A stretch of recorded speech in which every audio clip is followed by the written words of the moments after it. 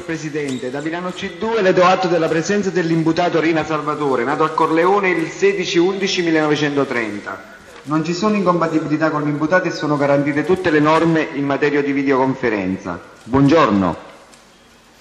È difeso dagli avvocati Luca Cianferoni assente, avvocato Giovanni Anania presente in aula. Per le parti civili costituite Elda Barbieri De Mauro, Franca De Mauro, Tullio De Mauro e per il Consiglio dell'Ordine dei giornalisti di Sicilia è presente in aula l'avvocato Francesco Perescimanno. Per la provincia regionale di Palermo è assente l'avvocato Pillitteri. È presente in aula il pubblico ministero dottore De Montis. Va bene, possiamo Prego, Avvocato Crescimento. Mi scusi Presidente, eh. se prima di iniziare la discussione mi autorizza il deposito della nota spese che la volta scorsa mi ero riservato di Diamone atto al verbale. Grazie. Possiamo dare corso alla prosecuzione della discussione e dare la parola all'Avvocato Anania per l'intervento conclusivo nell'interesse dell'imputato. Prego. Signor Presidente e signori della Corte, è giunto il termine di questo lungo e tormentato processo. Io sono arrivato da poco, ma è iniziato il 2 aprile del 2006. In questo processo c'è stato ampio e, libero, e libera partecipazione delle parti.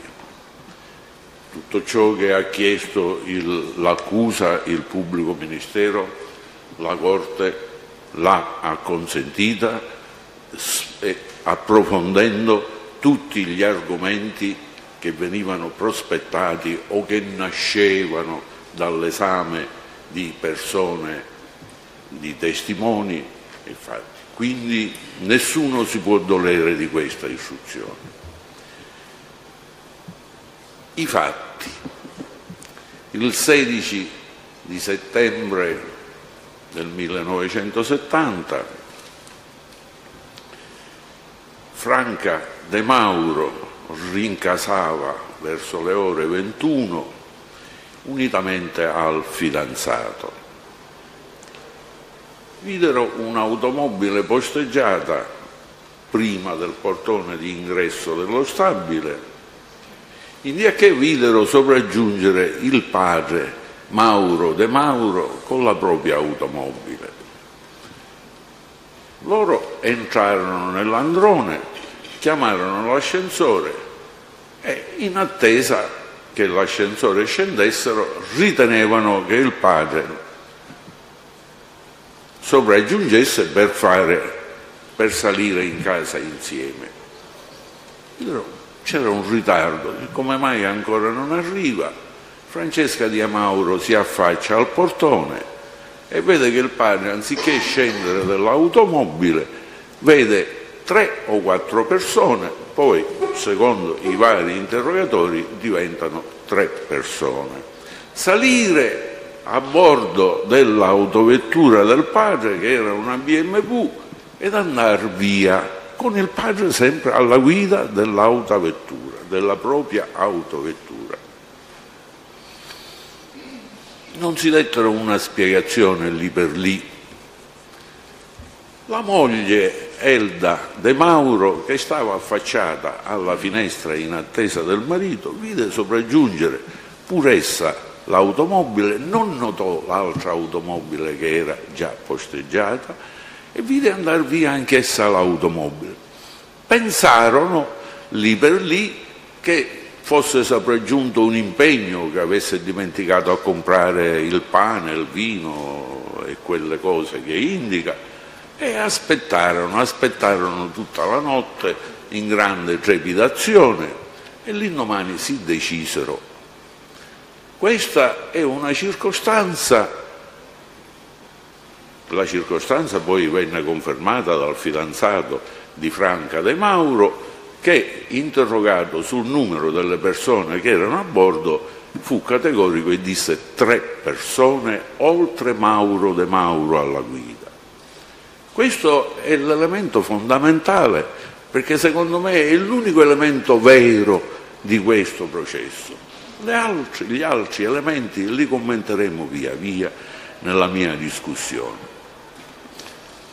L'indomani chiamano il giornale, chiamano la polizia, intervengono tutti, Mauro De Mauro incomincia questa affannosa ricerca, questo affannoso interrogarsi dei familiari, sopraggiunge il fratello Tullio, questo spasmodico e comprensibilissimo stato d'animo dei familiari che cominciano a interrogarsi che cosa può essere successo.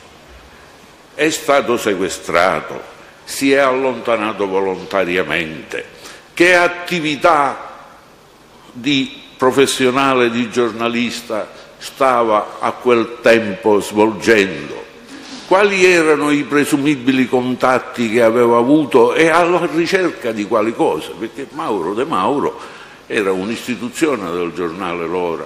Mauro De Mauro, subito dopo la guerra, venne a Palermo, fu accompagnato dal ministro Restivo, entrò, tutta la storia la sapete prese, entrò al giornale L'Ora e incominciò a scrivere e da giornalista appassionato si interessò di tutti i casi clamorosi che in quel periodo andavano succedendo o che venivano alla ribalta giudiziaria.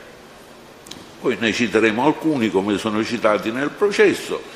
Questa spasmodica ricerca, le forze dell'ordine, con Boris Giuliano, il compianto Boris Giuliano, si diedero subito grande impegno nella ricerca, ci furono dei sopralluoghi nell'ufficio, cercarono fra le carte, cercarono fra gli appunti, riperirono molte cose.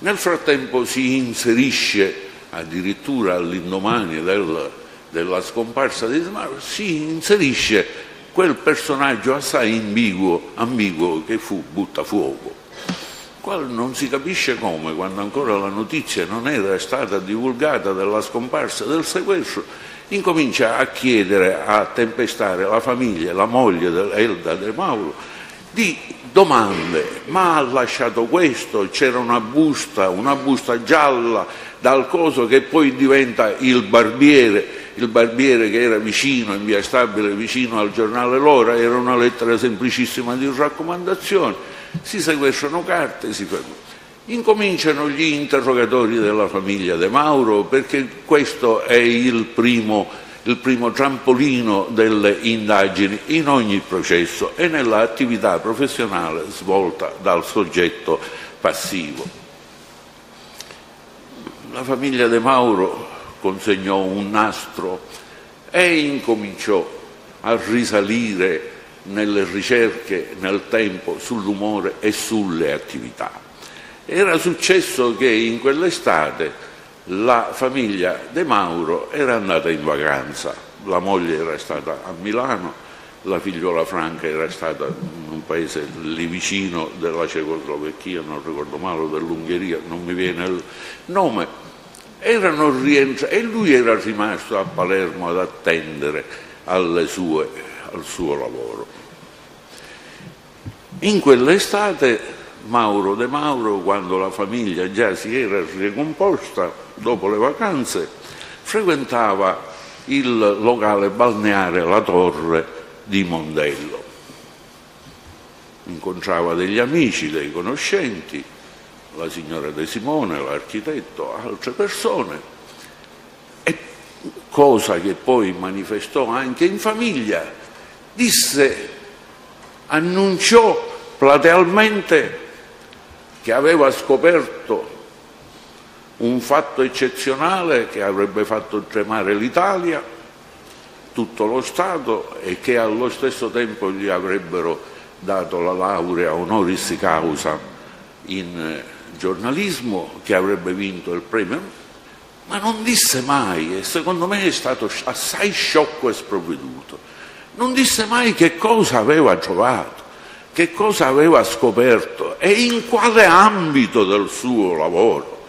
Se era un lavoro di mafia, se era un lavoro che lui aveva avuto commissionato da Rosi per ricostruire gli ultimi giorni in Sicilia di, di Enrico Mattei, che poi eh, otto anni prima era precipitato con l'aereo. Insomma, si crea una babele di piste, di indagini fuorvianti molte volte che spiazzarono gli investigatori che andarono alla ricerca di tantissime cose, forse ne trascurarono qualcuna, ci si cominciò a interrogare dei suoi rapporti con il presidente dell'ente minerario Verzotto, ci si imbatte in un tal avvocato Vito Guarrasi, ci si imbatte in sostanza in le, nei cugini salvo delle esattorie comunali, ci si imbatte in sostanza in tutto lo scibile politico della Sicilia in quegli anni e in tutte le attività più o meno oscure o se vogliamo a parer mio più o meno losche del sottobosco politico e ci si perde, ci si perde alla ricerca di notizie, ci si perde nella interrogazione e suggerimenti che pervenivano quotidianamente assai numerosi dai colleghi di Mauro De Mauro e non solo dai suoi colleghi del giornale L'Ora, ma del giornale di Sicilia, di Telestar e di tutte le testate giornalistiche del nord Italia che si erano interessate o dell'uno scandalo o dell'altra vicenda o della scomparsa di Mauro De Mauro e come eh, dice ognuno disse la sua. La Corte è andata appresso a questi giornalisti, ha cercato di cavarci tutte, qualche cosa, qualche elemento, e però non è approdata a nulla, anche perché il giornalista non è testimone, non è persona informata sui fatti. Quindi siamo quasi al limite della ammissibilità della, uh, della prova, perché il giornalista riferisce fatti che altri gli hanno riferiti e che cosa ci aggiunge il giornalista di suo? Questo lo sappiamo. Io per la verità intervistato per processi, per motivi di lavoro, non ho mai detto tutto e non ho mai detto la verità ai giornalisti. Quindi li ho imbrogliati, li ho ingannati. E gli altri che cosa hanno fatto a loro volta? Hanno detto tutto, hanno detto completamente la verità, sicché egli può essere un testimone del relato di ciò che gli ho detto io è una cosa assai ineffabile, è una cosa assai impalpabile. La polizia valutò tutti gli elementi, valutò gli appunti che erano stati preparati per il, il regista Rosi. E io vi dico la verità che attraverso le varie dichiarazioni di Rosi, di Bruno, il collega di stanza, di eh, Mauro De Mauro, il quale diceva, Mauro De Mauro mi fece vedere questi appunti, li spedì. Rosi dice io non li ho mai ricevuti. Colantonio dice non sono mai pervenute, facevamo sempre solletici, solleciti. Poi spunta un giornalista Petroni e Zurlino e dissero gliel'abbiamo dato noi a, a Rosi questi appunti. Si dubita che gli appunti trovati manoscritti e un foglio da tiro scritto nel cassetto del giornalista presso il quotidiano eh, L'Ora fossero suoi autografi o se erano stati manomessi. Il famoso nastro che De Mauro ossessivamente, dice la moglie, ascoltava a casa, ma non sa il contenuto né a che cosa si riferisse, questo venne a mani, anche questo venne nelle mani di Boris Giuliano e di Bruno Contrata che lo collaborava in questa indagine. Ma ecco era Bruno il collega di stanza, giornalista, al quale Mauro De Mauro aveva confidato sì l'incarico ricevuto da Rosi e gli appunti che avrebbe dovuto, dice, di aver trasmesso, ma gli consigliò, atteso questa notizia epocale, questa, questa bomba che De Mauro aveva scoperto, gli consigliò di andare dal procuratore della Repubblica Scaglione che era il vertice, il massimo depositario degli investigatori palermitani, era procuratore capo della Repubblica. Mauro De Mauro gli riferì che c'era andato, che gli aveva tutto confidato. Quindi il procuratore Scaglione era depositario di questo grandissimo segreto, ma non ha compiuto nessuna azione, nessuna attività giudiziaria, non ha imbastito un processo, non ha arrestato nessuno, nessuna attività basata sulle confidenze di Mauro De Mauro, che cos'è così gravi da far tremare l'Italia, da mettere tutto, tutto lo Stato fuori. Eh, sicuramente, sicuramente qualche cosa avrebbe fatto Scaglione, sicuramente avrebbe avuto qualche iniziativa in tal senso. E invece silenzio assoluto. Si interrogano le persone, questo va da sé. Arrivato a un certo punto la famiglia incomincia a lamentare un calo di tensione nelle indagini. Calo di tensione perché la prospettiva, l'obiettivo era il colpo di Stato di Valerio Borghese o la morte di Mattei non era stata accidentale ma era stato un omicidio. E fino ad ora questo, questo grossissimo nodo non siamo riusciti a sbrogliarlo. Ci fu un calo e allora cominciarono a pensare subito all'omicidio di Stato, al fatto politico, interventi dei servizi segreti, che io non trovo, un depistaggio, un ordine superiore proveniente dallo Stato di cessare le indagini, di contenere le indagini, di bloccare le indagini. Boris Giuliano non si cambiava il vestito fino a quando non aveva scoperto l'assassino. Boris Giuliano allora si sarebbe dovuto vestire per tutta la vita con lo stesso vestito. Il generale Dalla Chiesa, che allora era colonnello a Palermo, intervenne nelle indagini. Vivissima attività svolse il colonnello russo dei carabinieri e interrogarono i familiari, interrogarono persone, allertarono, allertarono e pressarono le fonti confidenziali. Dalla Chiesa concluse sciaramente, io ci credo poco, al Tullio De Mauro, fratello dello scomparso, il generale della Chiesa mi disse, dice, mafia non ce n'è. Insomma, questo è il colmo il generale della Chiesa, che era stato capitano dei carabinieri a Corleone, che si era battuto tutta una vita contro la criminalità e ci ha lasciato anche la vita per la criminalità, che abbia potuto rispondere la mafia non c'è.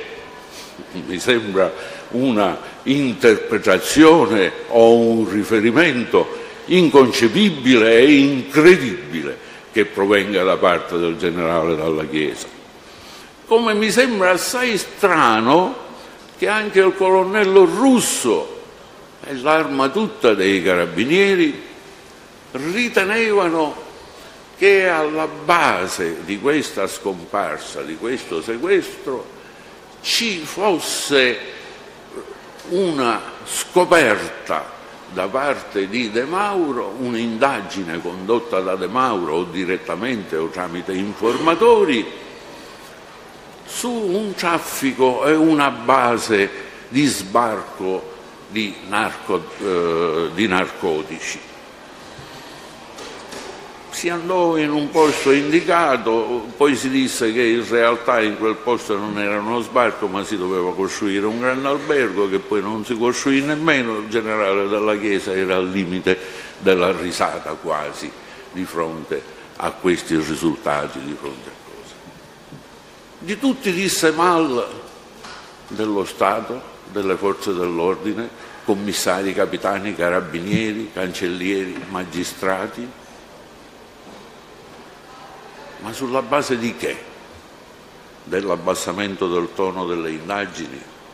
Eh, ma noi lo abbiamo conosciuto, io l'ho conosciuto in tutti i processi. Ci sono stati a Palermo nella seconda di guerra di mafia tra stragi e morti ammazzati 1200 omicidi, io li ho fatti tutti. Conosco bene questa storia, conosco bene l'impegno del commissario Boris Giuliano che ci ha lasciato la vita. Conosco benissimo l'impegno del generale Dalla Chiesa che ci ha lasciato anche lui la vita. Conosco moltissimo anche l'impegno di alcuni magistrati come Terranova di allora, che entrò pure in questa vicenda sia pure per consigli, sia pure per dire la sua, sia pure per dare qualche indicazione e sono tutti onorevoli funzionari dello Stato che hanno combattuto fino alla morte.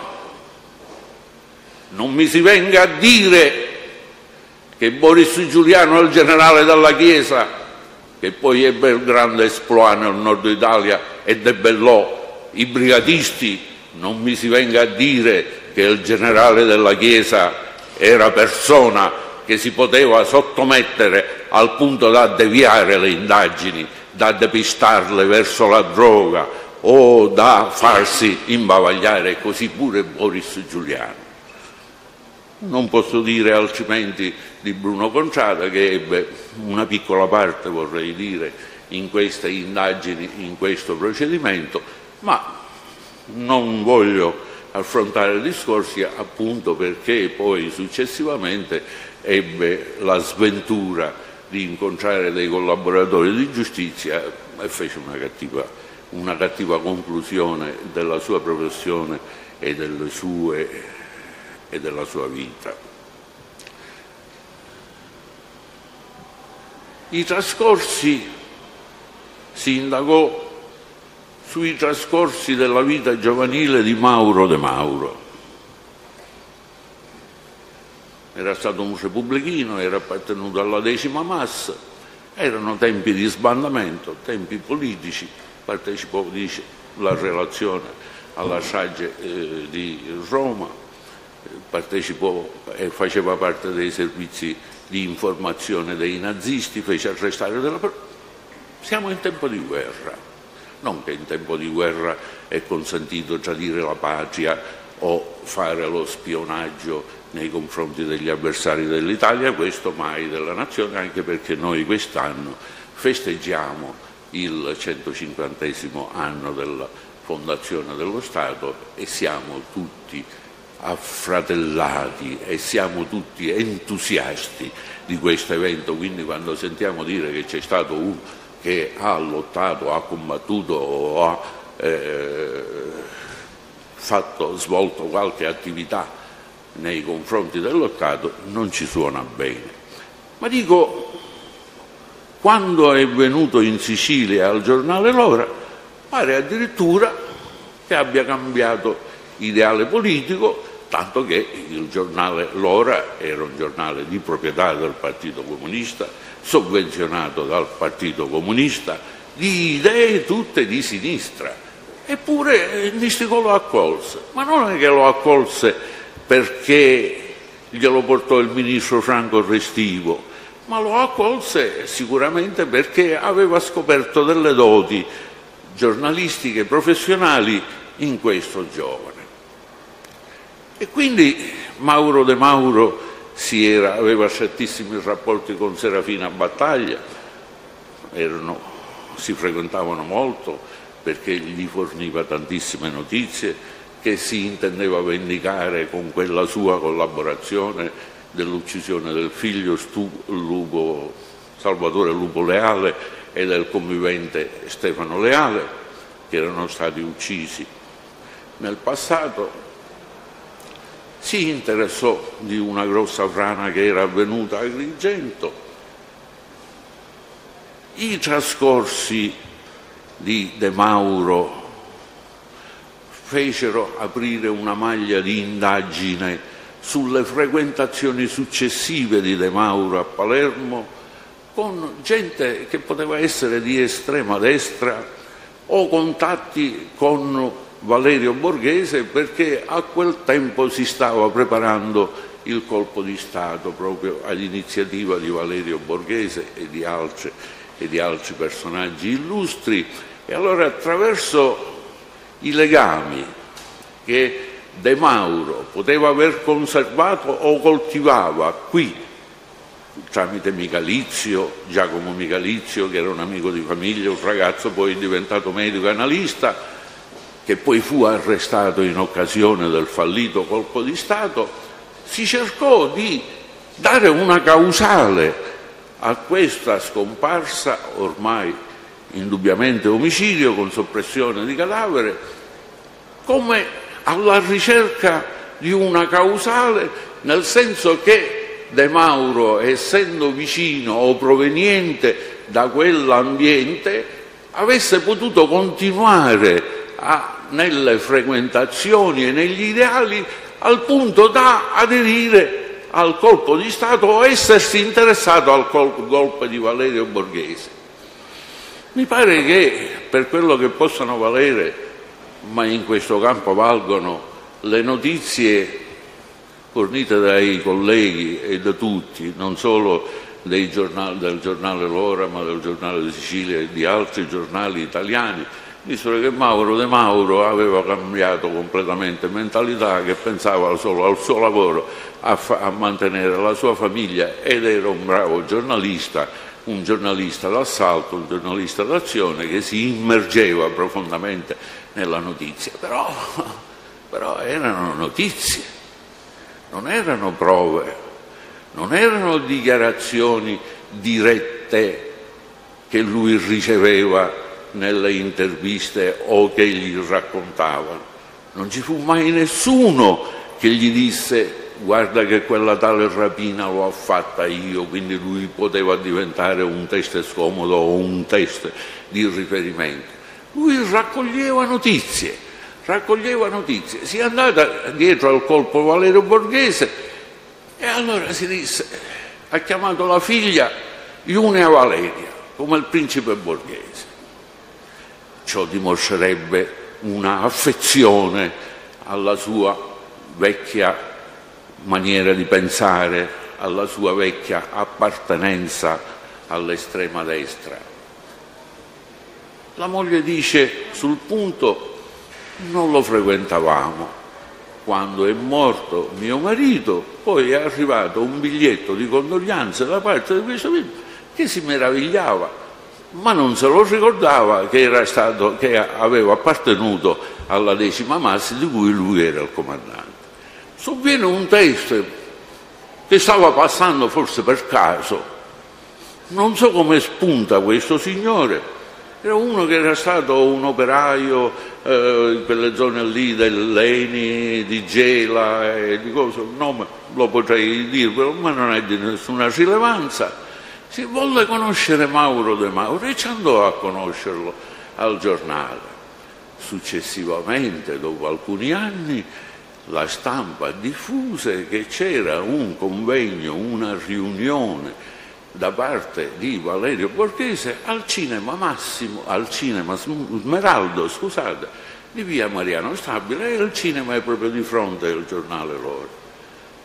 E lui vi andò, vi andò, incontrò Mauro De Mauro lì davanti, si soffermarono, cercò di ricordargli che lo ammirava, che quello che gli aveva detto prima, improvvisamente spuntò uno, Mauro De Mauro batté i tacchi, si mise sull'attenti, disse comandante ed entrarono insieme al C.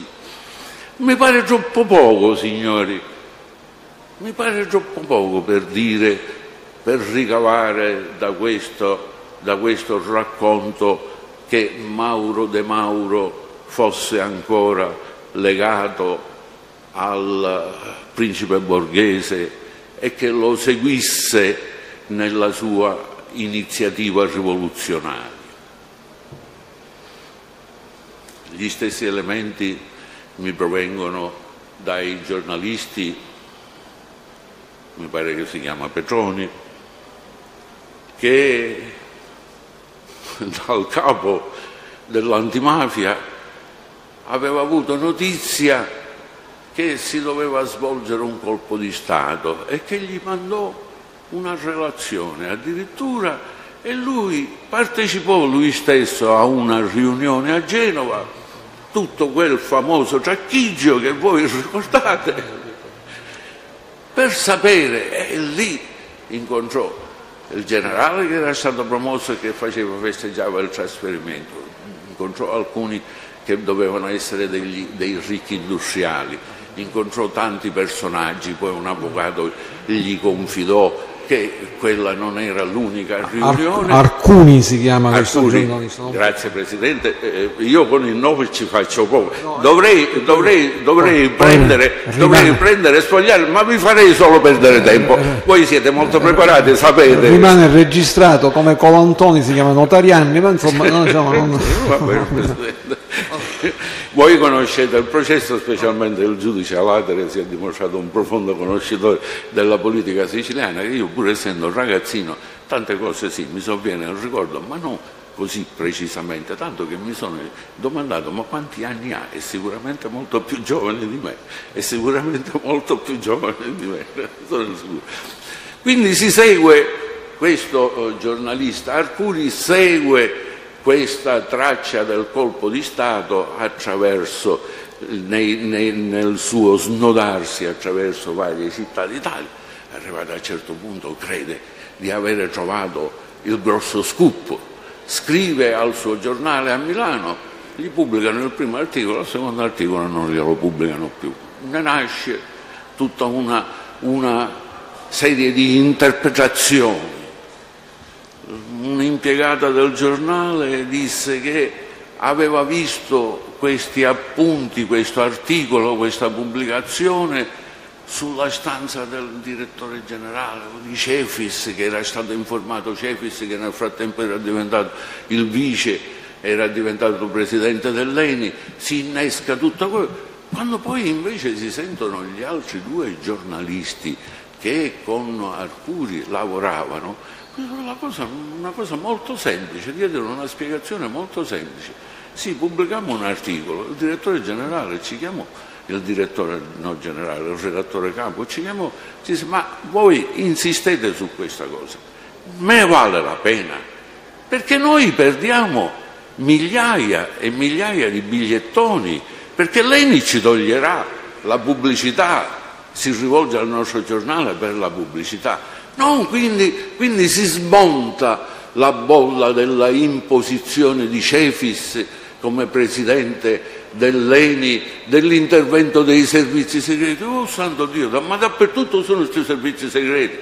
Una volta un mio cliente era come il pietrosino, dicevo io, come il prezzemolo, ma questi sono come il sale, sono in tutte le pietanze, anche nei dolci. Servizi segreti.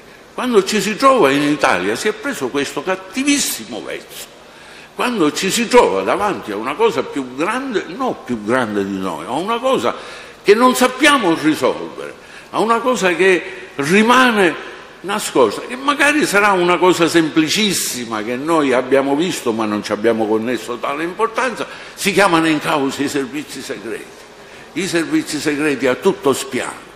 Si chiamano in causa gli americani perché c'era stato Eni li aveva, di Mattei li aveva surclassato nella concessione dei pozzi petroliferi in Oriente e certo che li aveva surclassati, aveva surclassato le sette sorelle, aveva messo in ginocchio l'attività di ricerca della Francia che su questi pozzi petroliferi tanto mirava.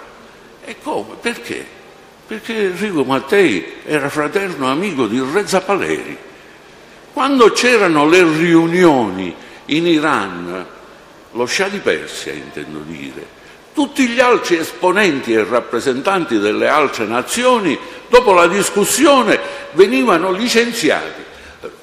Enrico Mattei invece sedeva in grande confidenza a tavola con il re più antico del mondo, quello Shah di Persia, che discendeva da Ciro, Ciro il Grande, Ciro che mise Persia aveva questa grandissima confidenza, questo grandissimo rapporto confidenziale.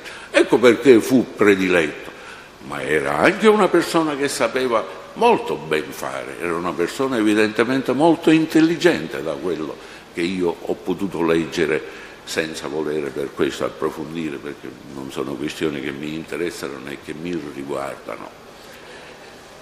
E allora, colpo di Stato borghese no, resta la pista Mattei. La pista Mattei però legata a quella richiesta che Rosi gli aveva commissionato per il film. E allora dicono tutti Verzotto in prima linea, dicono anche i familiari in un certo senso, Mauro De Mauro fu indirizzato per avere notizie su questi ultimi giorni di Enrico Mattei in quel paesino di Gagliano,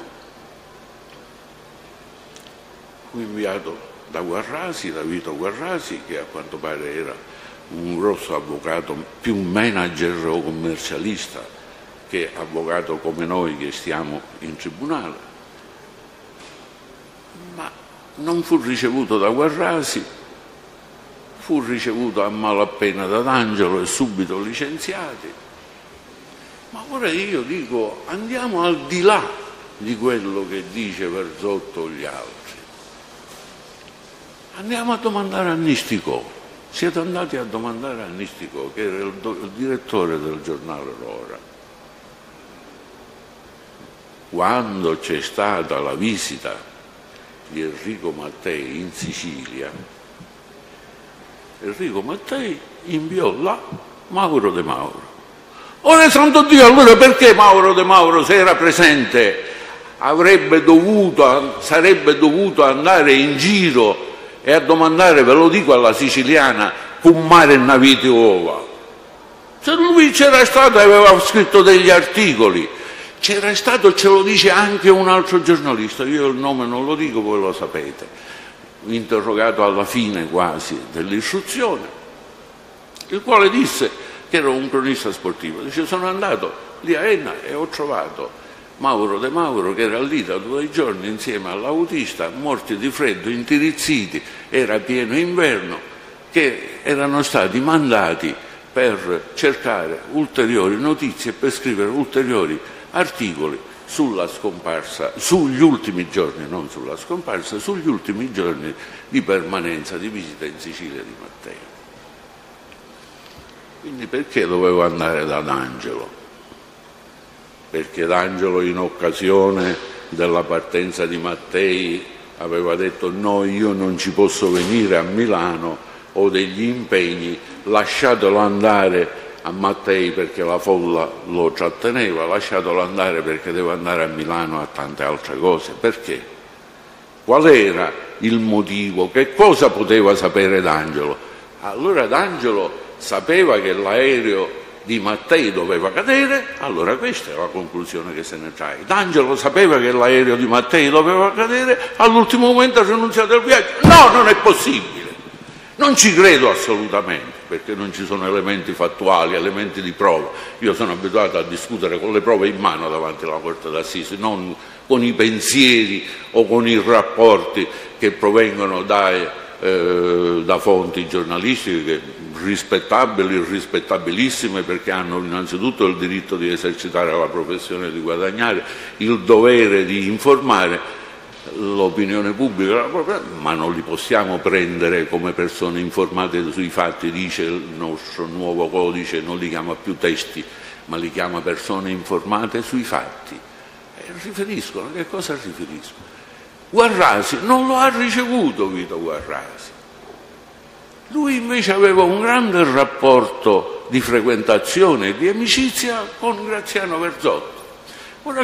L'avvocato Lubis nella memoria che ha scritto non è che, non è che è andato tanto lontano, non è che certe cose le ha sbagliate completamente, ma quando scrive al giudice istruttore chiama Verzotto e domandagli perché quando il suo Dio, che era Mattei, è venuto in Sicilia ed era lì che discuteva, che barattava con la popolazione in rivolta, io ti do il petrolio, ma tu che cosa mi dai?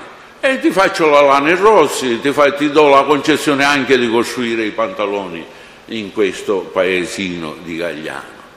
E tu dove te ne vai, Verzotto? Te ne vai a fare una passeggiata con l'aereo di Mattei che da lì lo spostano a Catania perché era un aereo particolare e poi e quindi non partecipi tu sei il padrone di casa. Tu sei il rappresentante dell'ENI in Sicilia.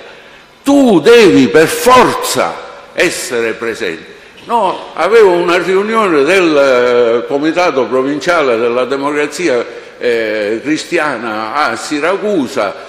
Lo dissi a Mattei, me ne sono andato. Non è una giustificazione, non è una giustificazione logica né attendibile. Avrebbe dovuto essere lì perché si discutevano problemi di idrocarburi, perché si discutevano problemi che riguardavano tutta l'ENI e riguardavano quello che poi ne è subito nato, l'ente minerario con, da lui gestito e presieduto con tutte quelle ramificazioni di Sochimis e tante altre sigle che furono la rovina della Sicilia e la palla al piede dell'Italia.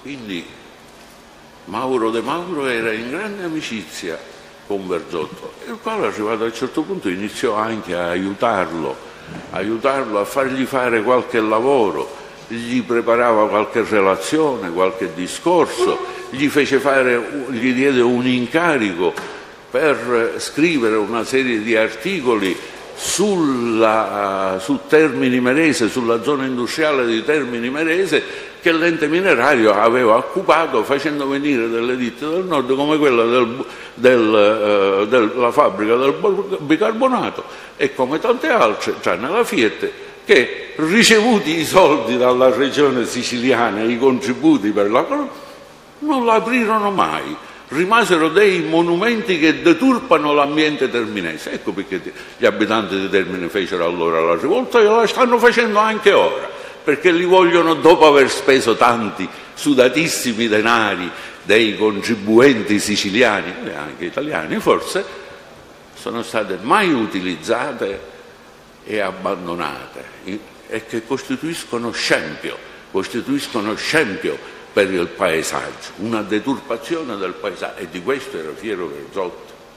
Era fiero dei fondi neri, dell'ammanco dei fondi della mm, EMS, dell'ente minerario, era fiero di avere sottratto tutte quelle somme di denaro era stato costretto a darsi alla latitanza, prima in Egitto e poi a Parigi, dove dice mi incontrai con lo questore di Palermo, Lidonio, il quale si girò dall'altro lato mentre lui era davanti dice fece finta di non era non, cioè, vado a raccontare un altro. Lo abbiamo conosciuto il questore Lidonio, lo abbiamo conosciuto, non era persona di questo, di questo genere o da assumere un comportamento così, così eh, svagato e così, anche se si trovavano a Parigi. Perché questa indagine processuale non è andata alla ricerca e all'approfondimento dei rapporti dichiarati dallo stesso Verzotto e di collusione con la mafia, con la mafia nissena, con la mafia di quella zona dove c'erano eh, Gela, dove c'erano gli idrocarburi, dove c'erano i pozzi petroliferi, dove c'erano tutte cose. I suoi rapporti, ah, un agnellino diventa quando parla di Beppe di Cristina. Lo assistette, fu testimone di nozze al matrimonio di Beppe di Cristina e insieme alle nozze l'altro testimonio chi fu? Peppino Calderone di Catania, membro della commissione provinciale. E c'è un altro passo che lui candidamente confessa. Dice, no, io il matrimonio, il bar, no, non è che lo frequentavo. Quando Beppe di Cristina voleva l'impiego io lo mandai via, però Beppe di Cristina era impiegato di una succursale dell'ente minerario. Calderone mi venne una volta perché voleva la concessione di un distributore di benzina, dice, non gliel'ho dato mi sono guardato bene dal taglio, però Peppino Calderone, che ve lo dico io che ci sono stato, aveva un grossissimo distributore di benzina all'uscita di Catania, questo è un dato di fatto, un dato vero, tutti lo sappiamo, tutti lo sanno. E il sequestro, il tentativo di sequestro di Verzotto fu un tentativo vero o fu un tentativo simulato? Fu allora, io lo ricordo, venne da mio padre, Nino Badalamenti, cugino di Gaetano, e portò un avviso, un decreto di citazione o un mandato di comparizione, perché sospettato di avere partecipato al sequestro, al tentativo di sequestro di Verzotto. Verzotto, perché forse in Italia, in Italia, è questo il destino degli, degli, degli italiani, essere persone oneste e persone giuste, si dice è un dovere, ma quando se ne commettono tanti di questi fatti si diventa evidentemente importanti. Si diventa presidente, capitano di industrie, presidente di, di, di deputati, senatori. Quindi secondo me è un cattivo esempio che noi abbiamo, loro, non noi, hanno dato alle giovani generazioni, non ci sono più, alle giovani generazioni che corrisponde poi tutto sommato a quel motto, chi ruba poco va in galera, chi ruba molto fa carriera. Si è fatta nessuna indagine su questo? Non si è fatto, non si è approfondito. Egli però dice, Verzotto mi si rimproverò da parte di Beppe e di Cristina per aver detto a Mauro De Mauro che lo scrisse di un'indagine che la mafia stava facendo, si interessava di traffico di stupefacenti, di droga e di sigarette. Dice, mi disse non lo dire più questo, perché io con i miei compari, davanti ai miei compari, ti ho giustificato. A Mauro De Mauro l'ho fatto uccidere. Dice lui, lo dice nella sua dichiarazione. Sono delle dichiarazioni tremende sono delle dichiarazioni che innescano, che contengono un altissimo potere di un uomo, Verzotto, suo potere economico, suo potere politico, che gli consentiva di avere rapporti con persone di altissima mafia, di allora erano i più alti. Peppino Calderone era il presidente del, del Triumvirato, Beppe, Beppe di Cristina era cognato di Stefano Bontate perché era fidanzato con Margherita, poi il matrimonio non si è fatto, ma rimasero comunque molto amici. Aveva continui rapporti con Stefano Bontà, continuissimi rapporti con Tanino Badalamenti, molti più ancora con Don Peppino Calderoni. E quindi sta vicinanza questa vicinanza di Mauro De Mauro. Mauro De Mauro un giorno invitò a casa sua, con la sua famiglia, la moglie e le figlie, invitò Verzotto a pranzo. Gli lesse quali erano gli appunti degli appunti che aveva rilevato. Che cos'erano questi appunti? Che cosa contenevano? Che uso ne ha fatto il suo confidente di questa confidenza della lettura di questi atti? Non lo sappiamo e non lo sapremo mai perché ormai sono tutti morti e non c'è possibilità di scoprirlo.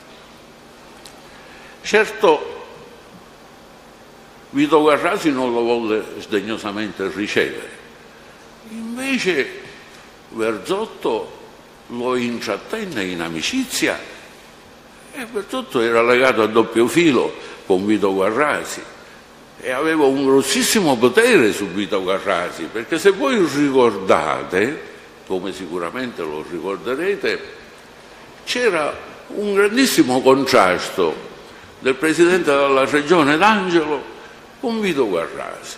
Vito Guarrasi era un uomo importante, non c'è niente da fare da quello che leggo, era un uomo importantissimo quindi che si era superiore al Presidente della Regione, che era il Presidente della la massima espressione della Regione siciliana.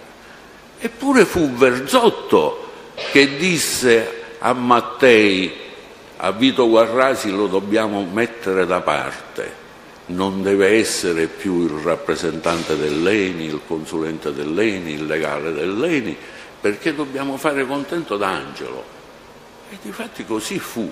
Però sono sempre giochi di potere, perché subito dopo che fu nominato D'Angelo, ecco perché anche partecipò e, e partecipava alle riunioni, morto Verzotto, morto Mattei, morto Mattei, Cefis che lo sostituì, immediatamente rinominò Vito Guarrasi e questa volta D'Angelo o oh, non c'era più ma comunque non disse più niente. D'Angelo ce l'aveva anche a morte con i fratelli Salvo per la concessione dell'esattoria dove si riscuotevano agi eh, superiori a quelli degli altri comuni, delle altre regioni, delle altre cose, quindi aveva anche questa rivalità. Ma dico, e quali sono allora gli elementi che noi, che voi, attraverso questa lunga indagine avete messo sul piatto? Sono elementi di prova? Sono elementi che possano condurci a una causale di questo delitto? Quelli del colpo di Stato no, pare anche perché il colpo di Stato non si verificò, neppure questo di Mattei, perché si dice attentato di Enrico Mattei, ma fino ad ora non c'è stato nessun tribunale però che ha trovato dei colpevoli o che ha statuito con una sentenza immune da vizi e da censure e con ragionamento logico accettabile da tutti che Enrico Mattei, il suo aereo fu sabotato, che Enrico Mattei fu ucciso. E, e, di fronte, quando ci sono questi morti importanti, si cominciano a diffondere delle voci, dei sospetti, dei pensieri, cioè, come al solito ci sono gli innocentisti e i colpevolisti, non c'è niente da fare, ci saranno sempre, l'opinione pubblica è. E allora l'opinione pubblica non può essere causale di un omicidio non può essere causale l'opinione, la voce popolare. La voce popolare non è assolutamente ammessa come, come prova nel processo, ma neppure come indizio. La voce popolare può indirizzare l'inquirente, il poliziotto il carabiniere a svolgere un dato percorso, una data indagine, ma mai costituirà prova. Ecco perché dico questo processo, che cosa, stringi, stringi, che cosa c'è? Omicidio di Stato, omicidio politico. Eh, omicidio politico, omicidio di Stato, sì, c'erano le nazioni, le nazioni straniere che avevano un interesse a questo petrolio, quindi un contrasto, un contrasto. ma viva Dio, disse la moglie, la moglie di Mauro De Mauro, quando a tavola commentavano un fatto simile, dice ma dice, morto un presidente, si parlava della scomparsa di Enrico Mattei, della morte di Enrico Mattei, ma mm, dice tutta questa importanza, dice perché mi pare che morto un presidente se ne fa un altro, dice come è stato per Kennedy, dice hanno ammazzato per Kennedy, dice è succeduto, è succeduto Lyndon Johnson, dice perché dice tutto sta affare di Stato, poi tutto sommato dove muore un papa e se ne fa un altro, non ci vedo tanto di sospetto o tanto di losco, nella, sia nell'attività di... Lupis disse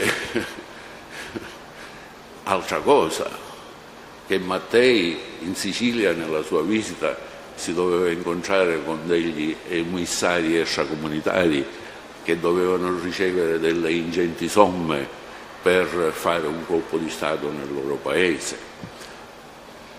Si erano intrufolati nell'ambiente algerino per, per l'acquisto del metano da portare in Sicilia e questo ebbe grandissima parte Verzotto. Ma io da qui, da queste chiacchiere, da questi riferimenti, mi sento assai poco tranquillo di avallare una tesi di causale della scomparsa di Mauro De Mauro. Non lo so, non lo so scartata la causale del colpo di Stato, scartata la causale della scomparsa di Matteo come omicidio, considerandolo come omicidio.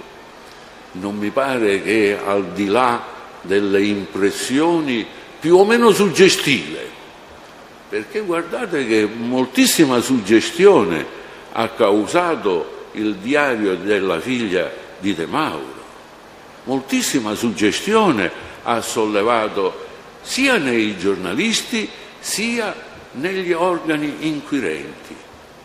Sì, ebbero massimo rispetto dei suoi affetti, massimo rispetto dell'amore verso il padre, ma riferirono delle opinioni talmente incontrollabili, talmente incontrollabili che erano semplici sospetti, semplici sospetti di una proveniente da una ragazza che non conosceva l'attività del padre. Perché, santo Dio, siamo a tavola, una famiglia. Si preparavano le nozze di Franca. Il padre stava accennando a questa sua importantissima ricerca, eh, ritrovamento o pista, non si sa in quale suona il campanello alla porta, tutti si alzano, Mauro De Mauro resta da solo a tavola. Nessuno si pigliò la briga di dire papà, Mauro, ma che cosa volevi dire? Che cosa hai trovato? Lo stesso con Alessi, Alberto Alessi, lo andò a trovare qui alla Sochimes in via Stabile. Devo parlare immediatamente con tuo padre. Ma mio padre è a Bruxelles. Vai a Bruxelles, piglia tuo padre. Vado all'estero. È una cosa urgentissima. È una cosa gravissima. È una cosa che si deve fare, così deve... Ma che cosa vuoi? Alberto telefonò a suo padre, dice, ma che cosa vuole? Dice, che cosa mi deve dire? Dice, che cosa... dice forse la strage di Portella della. Mi... Altro che archeologia allora faremmo noi se, se andiamo fino a Giuliano, fino alla banda Giuliana, altro che archeologia non lo volle dire. Ecco perché dicevo è stato poco intelligente e poco accorto, perché il nemico non lo si sconfigge, il pericolo non lo si sconfigge con il silenzio, il nemico va immediatamente messo in vista, additato così che non si può più muovere. Questa era la mossa intelligente, se lui veramente aveva scoperto. Però c'è stato qualcuno che disse, dice, era un esagerato, dice, specialmente dice, se aveva bevuto qualche bicchiere in più, era, eh, ingrandiva le cose. C'è stato qualcuno, qualche suo collega che ha detto anche questo. Ma questo fatto gravissimo, che poi non è successo, non è successo niente. Non è che si è verificato alcunché da questa sua scoperta. Non è che c'è stato un attentato, hanno ammazzato qualcuno, c'è stata una strage, c'è stata un'epidemia causata mediante virus iniettati ai bambini. Non è successo niente, è solo scomparso lui, è solo stato soppresso lui. Questo è quello che mi induce a ritenere che non c'era proprio niente, che non aveva scoperto proprio niente. Non so, io non lo trovo, quindi devo dire per forza, di fronte all'evidenza, che non c'è. Perché nessuno di queste persone alla quale lui confidò il premio, la laurea, il uh, scoppia una bomba l'Italia, Nessuno di questi ha saputo riferire né di che cosa si trattasse, né neanche un vago dubbio o un vago sospetto. Tutti hanno brancolato e brancolano come noi nel buio. Brancoliamo nel buio. Ecco perché non mi sento di avallare che questo è un processo politico, è un processo di Stato anche perché non credo assolutamente che quelle persone, come ho detto prima, quegli grandissimi seguggi, senza offesa, si siano fatti mettere al bavaglio da qualcuno da qualche generale o dai servizi o da qualche altro. Non erano toccate le autorità politiche italiane del nostro governo, non erano sfiorate né di collusione né di interessi né di partecipazioni né di altre cose. Dove si attacca questo processo politico? È un processo di politica giudiziaria? È un'altra questione, non è di politica è politica giudiziaria, vabbè, può essere politica giudiziaria nel senso che diceva Cianferoni, eh, Totorrina ha collezionato tanti ergastoli, non si trova nessuno e fa il parafulmine, ma questo da un altro punto di vista è un'altra, un'altra, un'altra e differente questione da classificare questo processo, questa scomparsa e questo omicidio come, come omicidio di Stato, come un delitto politico. Non c'è nessun elemento c'era in Sicilia il marasma. Il giudice Alatere si è divertito nella sua ricerca. Ha ritrovato i milaziani, ha ritrovato i coralli, i corrao, ha ritrovato tutto. C'era una situazione assai instabile in Sicilia. De Mauro si era occupato anche di politica, aveva scritto anche argomenti politici. E poi veniamo all'altro capitolo, all'altro capitolo, all'altro sospetto che legherebbe la scomparsa alla mafia a Cosa Nostra. Allora non si chiamava Cosa Nostra ma si chiamava soltanto mafia. Qual è questo elemento di congiungimento? L'elemento di convincimento è che non si riescono a spiegare i fatti e allora si trova come capro espiatorio la mafia che può sopportare, capace di fare qualunque delitto, capace di sopportare qualunque pena. E questo è il concetto. Io di elementi che possono condurre a questa affermazione sono legati a che cosa? Al fatto che scriveva sulla stampa articoli contro la mafia. Era il suo dovere, era il suo mestiere. Era il suo mestiere. Un cittadino da bene evidentemente non può fare gli elogi della criminalità organizzata, qualunque sia la denominazione d'origine e qualunque siano le intenzioni di quel dato sodalizio, perché un sodalizio è, e quindi di per sé riprovevole e condannabile. Ma dico, dal 63, la cosiddetta e famosa strage dei Ciaculli, la famosa Giulietta Bomba dove persero la vita il tenente Marausa e i carabinieri che con lui erano gli artificieri. E questo fu un gesto avventato perché il maresciallo lo disse non lo toccare! Il pulsante del portabagagli. Invece lui istintivamente toccò il pulsante fece il contatto e scoppiò la bomba e morirono tutti malaccortamente ma l'accortamento è un comportamento da incompetente perché non doveva morire nessuno. Non sarebbe morto nessuno se fosse intervenuto l'artificiere svitando e smontando il contatto che era sotto il portapagagli, non sarebbe morto nessuno. Vabbè, le cose succedono.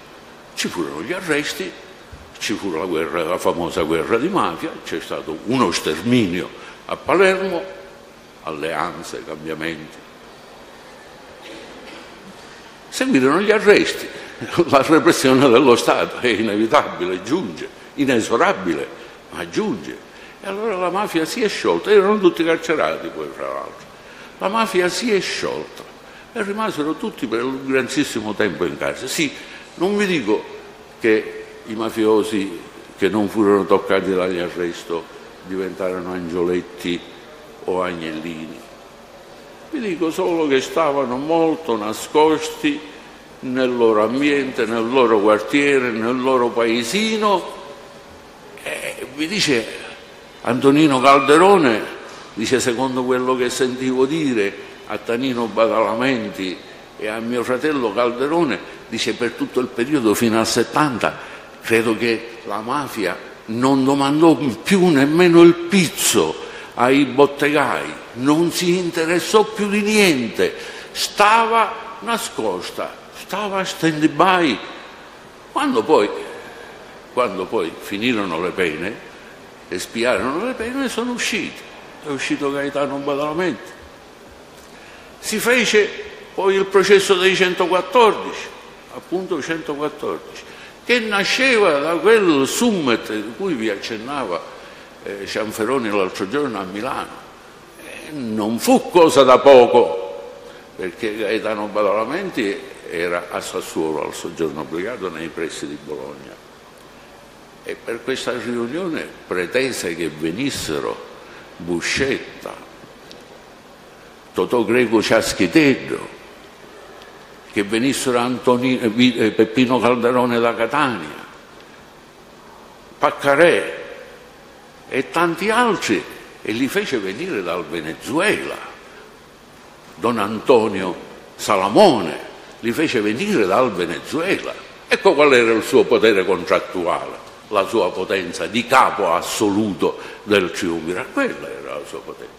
E allora il processo dei 114 ma fu una, oserei dire una barzelletta, perché Peppino Calderone fu arrestato il 13 luglio del 1970, mm, quasi alla fine del 71 venne scarcerato, lo stesso Gaetano Badalamenti avevano indubbiamente grande libertà di movimento se si potevano permettere da Bologna andare a Milano. C'era una grande permeabilità negli istituti, negli istituti carcerari, nelle case che allora si chiamavano carceri, non case circondariali. C'era una grande permeabilità lo sappiamo, lo abbiamo letto nei processi, ce l'hanno riferito le guardie, ci hanno detto come avvenivano i colloqui. Voi avete fatto il processo Golden Market, l'avete sviscerato questo argomento dei colloqui, come avvenivano e chi partecipava e come... E il carcere entravano anche persone che non erano familiari, ho sentito dire delle cose, delle cose enormi entravano armi, entravano giocattoli, entravano dolci, entrava tutto quello che si voleva al carcere. Dal carcere usciva anche tutto quello che si voleva, uscivano gli ordini. E, se Gaetano Badalamenti nel 70 era ancora detenuto come dice, io non lo ricordo per la verità il processo non l'ho trovato più perché ho buttato tutto. E Peppino Calderone era pur esso detenuto,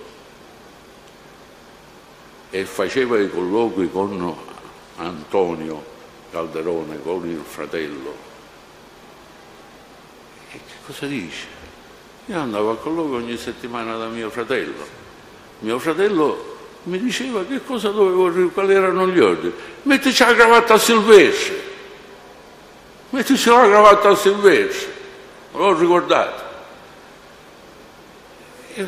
e portavo allo stesso tempo notizie sui fatti del giorno, su, sulle cose che avvenivano in Sicilia, le andavo a riferire e facevo il colloquio con Danilo Badalamenti anziché con suo fratello, con Peppino Calderone, che erano la stessa cosa, perché Peppino Calderone era il capo. E poi da questo, dalla sua morte, ne è nata la defenestrazione di Gaetano Badalamenti. E allora Dicono Peppino Calderone lo ricorda perché più avanti negli anni e ha vissuto meglio dall'interno la vita dell'associazione per essere il fratello che conviveva con, con il fratello appunto Peppino Calderone da Catania. E lo dice, lo riferisce, è l'unico che senza mezzi termini e con sicurezza cioè c'era un triumvirato. Dopo la pace e il silenzio della guerra di mafia del 63 c'erano questi tre personaggi. Mio fratello Peppino, che era il segretario per tutta la regione e il presidente della commissione. C'era Gaetano Badalamenti, c'era Stefano Bontà.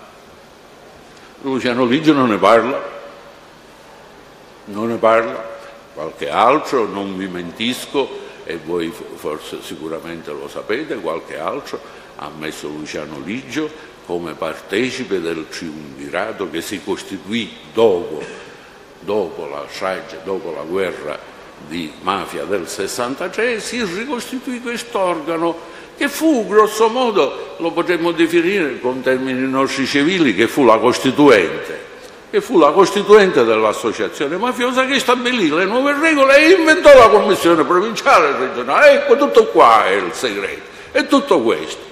Lo abbiamo letto, lo abbiamo scritto, lo sappiamo, lo conosciamo. Io le ho vissute queste cose perché mio padre era avvocato, quindi a casa mia erano di casa, come si suol dire, tutte queste vicende, tutti questi morti ammazzati, tutte queste cose, tutti questi processi erano di casa. Le ha prese subito ben quell'arte. E allora, perché Luciano Ligio? Voi avete visto anche il film che è stato fatto, Il capo dei capi, sicuramente lo avrete visto. Avete visto che in un angolino nella piazza c'erano dei ragazzi che guardavano e commentavano. Quello è Tanino Badalamenti, quello è Masino Buscetta, però stavano fuori, non entravano non avevano titolo, come non lo aveva nessuno di questi collaboratori che voi avete seminato sbagliando un tassello, mancando un tassello. Non avete pensato di interrogare il grande collaboratore di Stefano Bontate e il grande pentito che era Totuccio Contorno, di cui c'è traccia in un interrogatorio del dottor eh, eh, Gino. Poi ve lo dirò quando ci penso così, Pennino, eh, Bruciamontani era il grande braccio destro di Stefano Bontà ed era anche il più vecchio di tutti questi, è entrato per prima, prima di Marino Mannoia, prima di Grado e prima, e prima di Emanuele D'Agostino e prima di tutti gli altri che era mm, veramente il braccio destro di Stefano Bontà, conoscitore della vita e dei miracoli di Stefano Bontà. Vi è sfuggito, nessuno ve l'ha chiesto, non lo avete esaminato, è un collaboratore di giustizia notorio. Quindi questi collaboratori di giustizia. E lui dice andavo in carcere e ricevevo gli ordini da Danino Badalamenti. Andavo in carcere e portavo la stampa, la cronaca a Tanino Badalamenti. C'era il triumvirato, gli altri collaboratori. Veniamo eh, Franco, io un nome richiesto non sono riuscito, quello di Altofonte, Franco, eh? Franco Di Carlo, eppure antico del mestiere. C'era una commissione provinciale, dice Luciano Ligio, erano quei tre, Luciano Ligio era un organo consultorio, dice, ma non veniva mai consultato. Quindi è anche messa in dubbio la partecipazione di Luciano Ligio all'organo, all'organo deliberante, all'organo di potere della dirigenza, all'organo di vertice che equivarrebbe alla commissione provinciale di Cosa Nostra. Mette in dubbio anche questo.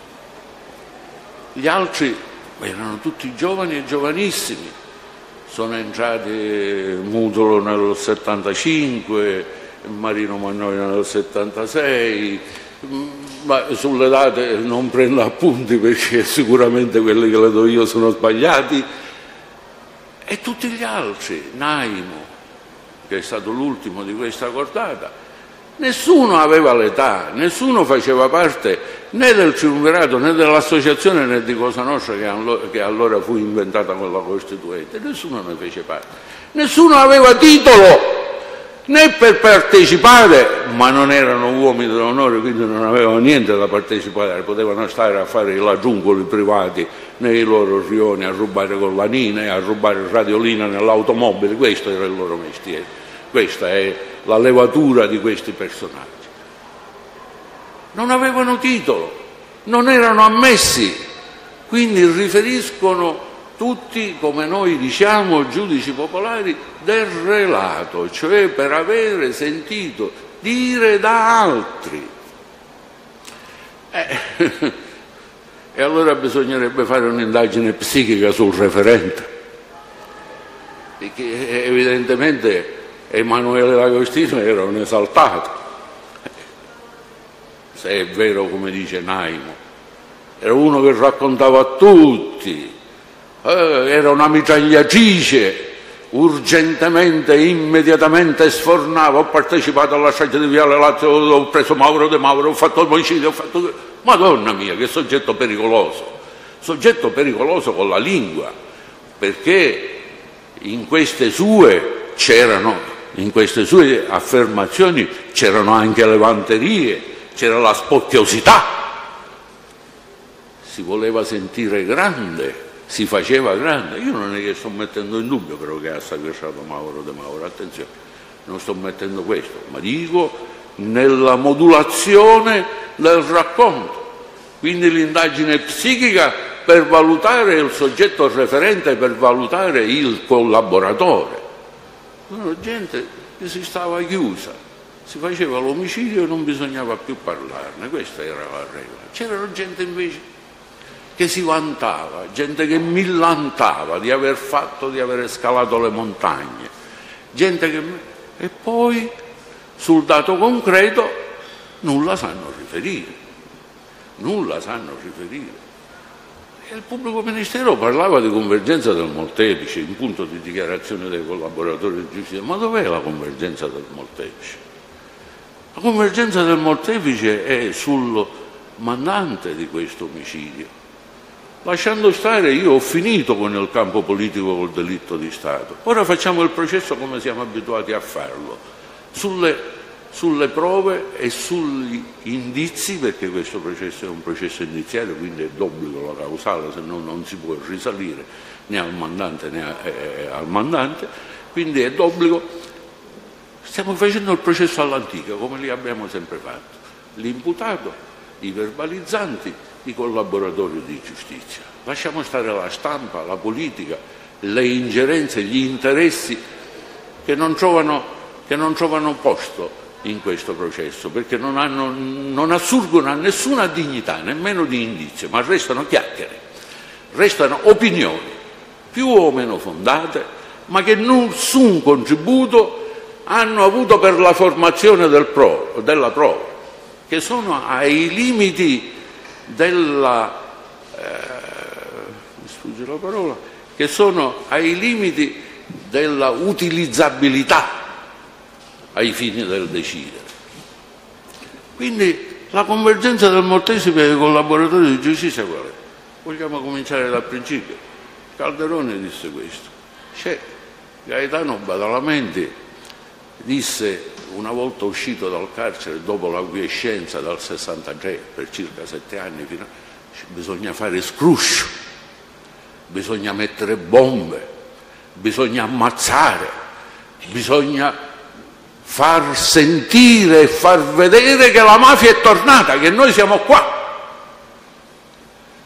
dobbiamo mettere e inquadrare la popolazione Dobbiamo rinquadrare la popolazione che ormai dopo tanti anni non era più avvezza al dominio e alla sovrapposizione della mafia. Ma si pensò di mettere per questo, per creare allarme, delle bombe. Fu portata una bomba a Catania, a Peppino Calderone, da un palermitano, fu messa la bomba al Palazzo di Giustizia è esplosa, per fortuna non causò vittime. A Natale del 19, a Capodanno del 1970 a Palermo c'è stato pure gli attentati dinamitardi alla regione siciliana. Furono arrestati e condannati due persone a piccolissime pene, il padre e il figlio. Oltre a questo non è successo niente. Questo è tutto il rumore questo è tutto quello che si prefiggeva Gaetano Badalamenti.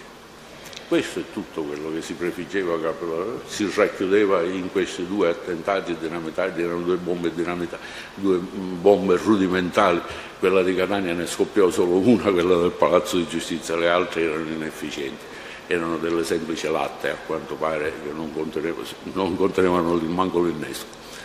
E allora bisogna ammazzare la polizia e i carabinieri bisogna buttarli a mare. Ma che cosa è stato fatto nel 70 e negli anni successivi? Niente. Che cosa è successo? Questa rivolta, questo colpo di Stato, questo reimpossessamento da parte di Gaetano Badalamenti E, e perché si riferisce solo Gaetano Badalamenti? Gli altri chi erano? Dove erano? Chi erano gli altri? Dove erano? Non se ne parla. Parlava solo Gaetano Badalamenti. Gaetano Badalamenti era il capo effettivamente. Parlava solo lui, non consultava gli altri, non consultava nessuno perché si parlò anche di omicidio di giornalisti. E c'è un passo dove si dice Luciano Ligio, Gaetano Badalamenti lo mandò da Don Peppino Calderone, era latitante, lo mandò a Catania dove si fermò per due anni fino agli arresti 100, dei 114 che colpirono Don Peppino, eh, Don Peppino eh, Calderone. Luciano Ligio appena arrivò disse, dice, bisogna ammazzare dice, immediatamente il giornalista Fava perché? Dice perché dice, ha pubblicato una fotografia dove mette in risalto i miei occhi. Don Peppino si mise a ridere nella sua saggezza e ha fatto bene. Perché disse guarda, se noi qui queste cose non le facciamo, quindi Gaetano Badalamenti non aveva niente da ammazzare, nessun giornalista da ammazzare perché senza il consenso degli altri due membri non aveva niente da fare. E vi dai il segno e la prova che Luciano Ligio non faceva parte del triumvirato, se è vero come è vero, come riferisce il collaboratore fratello Antonio Calderone, chiese a Peppino Calderone, ci ammazziamo, dice no, queste cose non si fanno, perché se dovessimo uccidere tutti quelli che parlano male di noi, o che ci fanno i capelli grossi, o che ci fanno la testa piccola, o che ci fanno una cosa, Dice, noi chiuderemmo, dice, sia i giornalisti che i giornalai. Dice, non ci sarebbe più dice, nessuna possibilità. Ecco, quindi vi do il segno del triumvirato, vi do chi è che comandava, vi do le prove ricavandole dalle argomentazioni che vi sono state prospettate. Ci troviamo nel pieno triumvirato che fu la Costituente per la riorganizzazione dell'associazione mafiosa. Ma se le bombe furono messe a Capodanno del 1970, Mauro De Mauro era stato sequestrato il 14 o 16, non ricordo bene, del 1970, ancora prima, quindi quindi non rientrerebbe in quel processo del rumore che bisognava fare, a mio avviso. Che abbia potuto scoprire Mauro De Mauro nei riguardi della mafia. Non troviamo articoli di stampa in questo senso da parte di Mauro De Mauro, anzi fu proprio il periodo in cui egli fu trasferito dalla cronaca allo sport. Sono stati interrogati tutti i giornalisti, ma come? Che è una punizione? No, il giornale loro era debole nello sport, bisognava eh, aumentare, bisognava che fosse diretto da una persona da un giornalista più importante, più capace per impinguare le casse del giornale loro che stava veramente a mal partito. Vi dice Antonio Calderone che Stefano Bontade aveva un grande odio nei confronti di Mauro De Mauro. Aveva un grande odio e lo fece uccidere, dice l'ufficio C. Sono in contrasto ancora i collaboratori di giustizia sul luogo di sepoltura, le modalità di uccisione e sul luogo di sepoltura di Mauro De Mauro. Nino Badalamenti, sostituto e cugino di Cinesi pure, sostituto di Gaetano Badalamenti, rivela a Di Carlo, quindi è una, una relazione non di primo grado, di secondo di terzo grado, non del relato di prima mano. Dice c'ero io, dice che aspettavo lì, che aspettavo lì che portassero Mauro, dice l'hanno ammazzato, dice dice che, che c'entra, dice tutto il resto, dice ha ammazzato Stefano Bontà, dice, dice è stato seppellito nella sponda del fiume Oreto, nella parte, guardate il particolare, nella scarpata che è demaniale, perché la scarpata dell'autostrada o del fiume è del, è del demanio. Cosa simile riferisce Mutolo per averla preso a sua volta con modalità diverse, ma lui l'ha preso che era stato Stefano Bontate a farlo rapire, a farlo uccidere e a seppellirlo pure in un altro posto, lì vicino a Santa Maria di Gesù. Marino Mannoia non poteva essere da meno, non era uomo d'onore, poi sentì dire da notizie, da mezze frasi a spizzichi e bocconi, sentì dire che nella scarpata del fiume Oreto, dove c'è il bar Sette Bello, credo che ci sia ancora, c'era il cimitero della mafia della famiglia di Santa Maria di Gesù di Stefano Bontà. Grado. Con Stefano Bontate dice che erano un, un corpo e un'anima, come si dice, due corpi e un'anima. Dice che non sapeva niente tanto per cominciare, non sapeva niente, ma questo lo, lo approfondirò nei dettagli fu seppellito nel giardino della moglie del ministro Giovanni Gioia, ministro della Marina Mercantile, che il terreno che era perso, abbandonato, che il padre e il suocero l'avevano coltivato per tanti anni. L'ultimo collaboratore le azzecca tutte, Naimo. L'antipodo di Santa Maria di Gesù. Lo colloca a Fondamaria, a Resultato, nella proprietà, mi dice Madonia, ecco perché lo va a collocare là. E agli antipodi, in un pozzo, questo non fu scavato. Quindi proprio, proprio è attendibilissimo. Proprio Naimo le azzecca tutte, è attendibilissimo. Sul luogo, sulle persone, la Corte ha acquisito il verbale è proprio in sintonia sì da essere una corrispondenza d'amorosi sensi. E allora dov'è questa convergenza? Del... La convergenza sapete su che cos'è? Che l'omicidio lo volle lo fece seguire Stefano Bontano. E, e come lo fece seguire? Senza informare il triumvirato. L'episodio lo si irrigava perfettamente dal racconto di Gio, dottore Gioacchino Pennino, quando dice accompagnai Salvo da Pino Greco Scarpozzedda all'Aspra. Quando poi lo accompagnavo di ritorno rimase entusiasta e mi disse, dice, questo ragazzo ha il coraggio proprio, dice, è l'atteggiamento di Stefano Bontà. Dice, decide autonomamente ed esegue.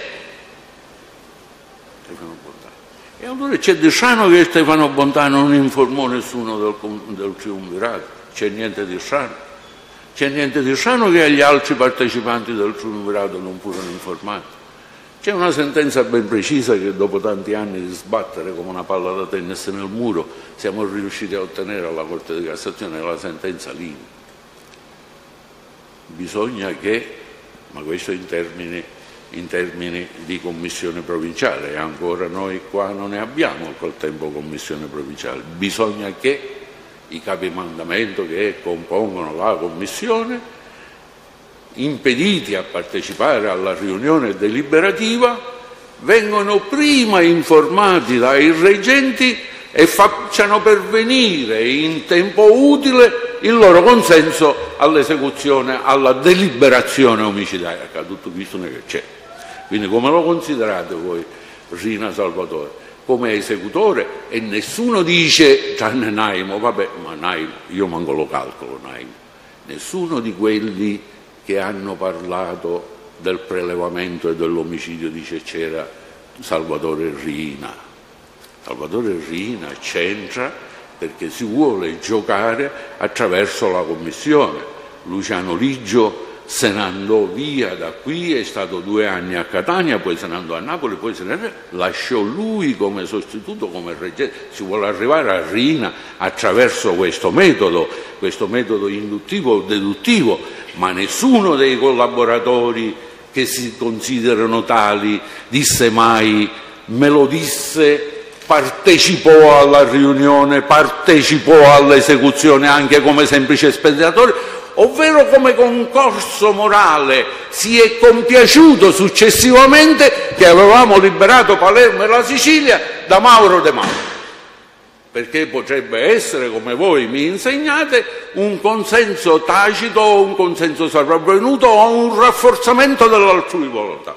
I, giudici togati queste sentenze, questa giurisprudenza la conoscono molto bene, meglio di me sicuramente. E allora che che vestito gli mettiamo a, a, a Salvatore Riga? Che vestito gli mettiamo? Dice, e questo è corale, Emanuele D'Agostino frequentava il circolo della stampa e forse anche, anche Mauro De Mauro. Mauro De Mauro domandava informazioni, domandava notizie, è vero, non è vero. Si sono conosciuti, hanno intrattenuto rapporti di amicizia, di confidenza, è tutto dubbio, è tutto incerto, nessuna certezza c'è in questo processo, è proprio così. Mauro De Mauro gli abbia chiesto qualche informazione pericolosa che sottendeva, che sottendeva un suo pensiero. E allora Emanuele D'Agostino si è preoccupato, lo andò a riferire al suo capo Stefano Bontade, il quale l'architetto organizzò tutto e lo fece sequestrare. Emanuele D'Agostino andò a prelevarlo sotto casa non secondo le modalità che vi dice l'ultimo collaboratore di giustizia, Upiccirillo, Ninuzzo, Cicciuzzo, finiva con Zu, colpo di rivoltella in fronte, la 600, 500, dove lo misero, lo buttò. Noi abbiamo due testi certi, tre testi certi, la famiglia De Mauro, testi oculari che non possono essere scavalcati da nessun'altra prova, è la prova generica, la regina delle battaglie. Le altre sono congetture, sono ricostruzioni, sono opinioni, sono suggestioni. Le modalità del sequestro, come le racconta, come le racconta Naimo, non, non coincidono minimamente. La famiglia De Mauro dice tre soggetti e mio padre quattro che rimase al volante. Non che fu preso, minacciato, eh, colpo di rivoltella, come dicevo, buttato, eh, la, la, la, famosa barzelletta, Giuseppe Loreto, no, mi chiamo Mauro De Mauro, Giuseppe Loreto, Giuseppe Loreto, la storia di donne, hai disturbato, portato là, niente. Quindi è stato preso Mauro de Merauro sotto la minaccia delle armi o fu preso con inganno da Emanuele che presupporrebbe un rapporto di amicizia o di conoscenza nella sede del, del circolo della stampa non si sa, sta di fatto che Mauro De Mauro restò alla guida, non fece e non disse niente, la figlia lo vedeva, non fece e non disse niente, gli è sembrato triste, ma non fece niente nella guida.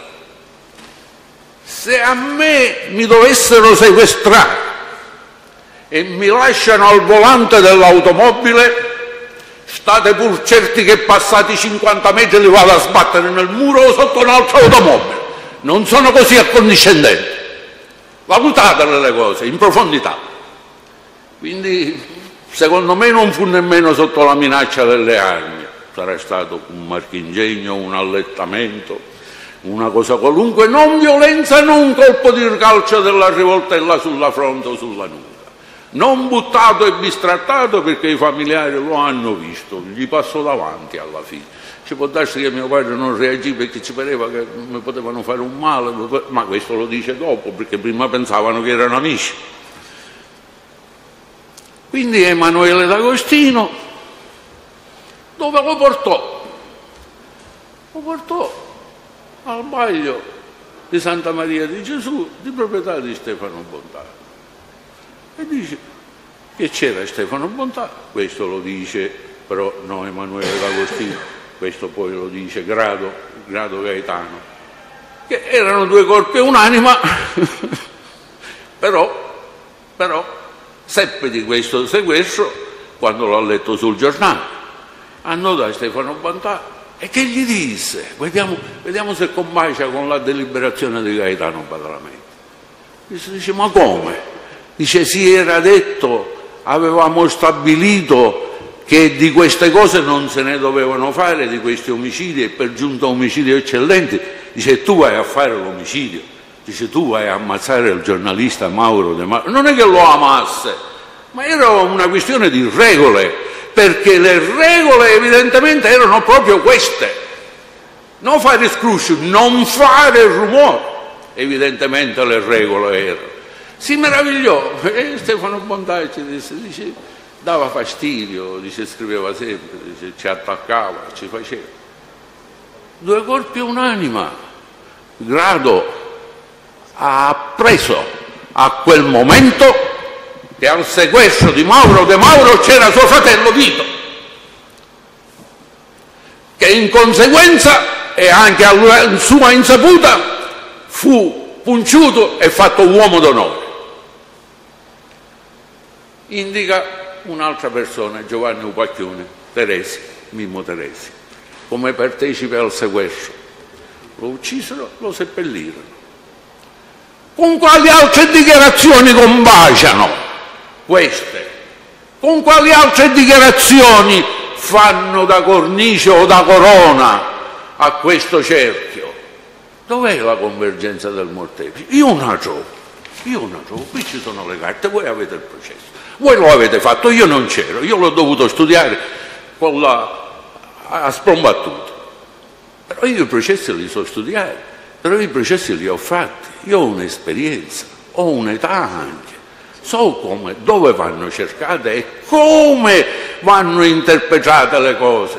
Perché io vi dico che attraverso la dichiarazione, attraverso il racconto di grado, vi dico che evidentemente se c'era l'ordine che quel tipo di reati non si dovevano fare e se chiamo in causa Gaetano Pennino che mi disse, che dice che Stefano Bontate era capace ed era in condizione di agire autonomamente senza nulla chiedere a nessuno, io ho chiuso la partita, signori miei. Io ho chiuso la partita, vi darei un altro milione di parole sui giornalisti, sulla politica, perché io in parte l'ho anche vissuta, perché ero giovanottello, lo sentivo dire, non che mi interessasse di politica, ma qualche cosa la sentivo dire, qualche altra cosa l'ho studiata, qualche altra cosa l'ho vissuta. E allora è naufragata, naufraga anche questa pista attraverso i collaboratori di giustizia per giungere alla responsabilità e alla colpevolezza di Rina Salvatore. Naufraga anche questo, non perché sono dichiarazioni di terza mano, dichiarazioni del relato, ma perché non c'è niente da fare, non c'è niente da fare, non combacia, non si integrano, non si integrano in un racconto, in una ricostruzione unitaria che deve essere fatta con l'atto finale di questo processo che è la motivazione della sentenza, non si integrano. Oddio, se eh, si vuole dire che eh, Totorrina eh, condanne all'ergastolo ne ha tanto, una più una e meno, se si vuole dire, però non è degno, non è degno della toga che portiamo, della toga che portate e sono sicuro che voi, questo non è il vostro metodo perché vi conosco bene da tantissimi anni. Quindi, neanche sotto questo profilo si può indulgere su una petizione di condanna.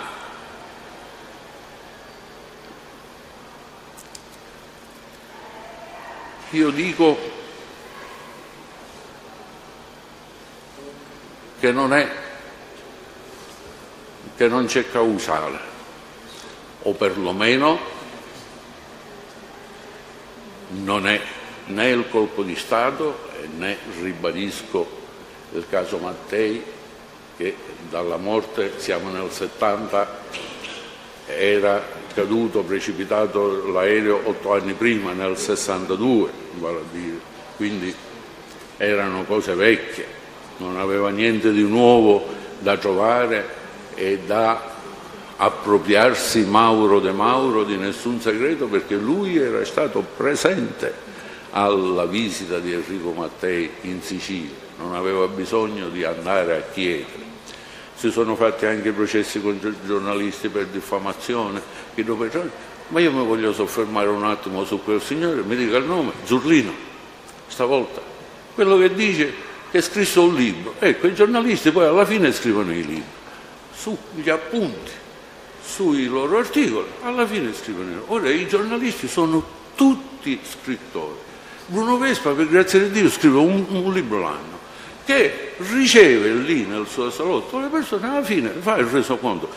Mi dispiace, molti pubblici ministeri e alcuni giudici, molti magistrati e alcuni giudici hanno preso il cattivo vezzo di scrivere dei libri sui processi che hanno per le mani o sui processi che sono nella fase di istruzione.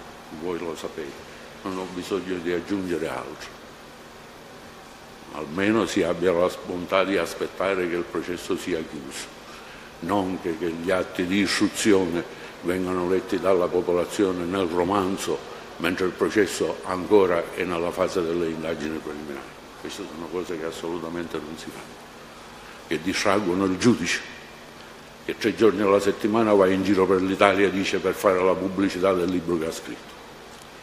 Voi queste cose le sapete perché fate parte fate parte del, dell'ordine giudiziario e quindi le sapete meglio di me.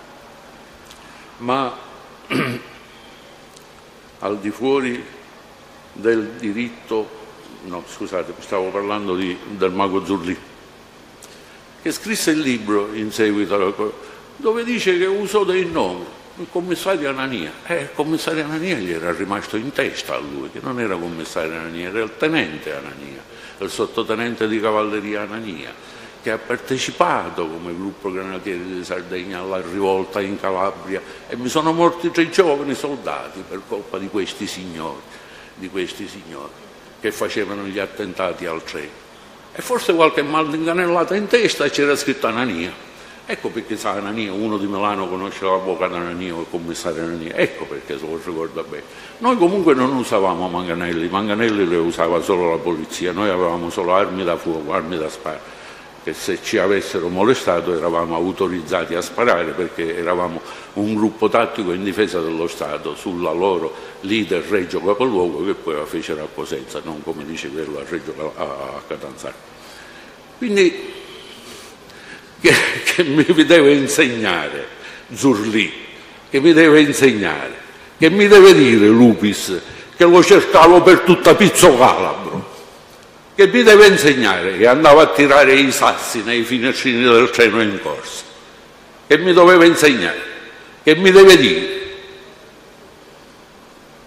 Quindi non sono nessuno di questi argomenti che abbia scoperto o non abbia scoperto non posso dire niente, non potete dire niente, posso fare solo ipotesi. Ha trovato, ha scoperto, è lì. che ha indagato, è lì che ha trovato, è qui, è là. Si possono solo fare ipotesi, perché questo è il materiale del processo, signori miei. Possibilmente, difatti questo processo dal 70 a ora è stato riproposto in tutte le salse ed è stato sempre archiviato, ed è stato sempre archiviato. Oggi l'accusa ha avuto non so che cosa, ha letto tra le carte come è pervenuto, come si è formato questo convincimento, ha portato questo imputato a giudizio. Eh, Totorrina è, da quando è stato arrestato è ancora prima che è conosciuto alle forze dell'ordine, che prende i processi. Qual è il motivo? Qual è la causa scriminante della sua, della sua incolpazione? Io non la vedo. Perché Totorrina non è che sta nascendo ora e ai processi non sta nascendo ora e alla notorietà della cronaca non sta nascendo ora. Com'è che non ci hanno pensato prima a Totorrina? Qual è l'elemento scatenante che ora si è verificato? Io qua non ne trovo. Lì nelle vostre carte non lo trovo nemmeno. Per quanto riguarda la sentenza emessa da questa Corte in diversa composizione della strage di Viale Lazio, e io l'ho temuta, vi dico la verità, l'ho temuta.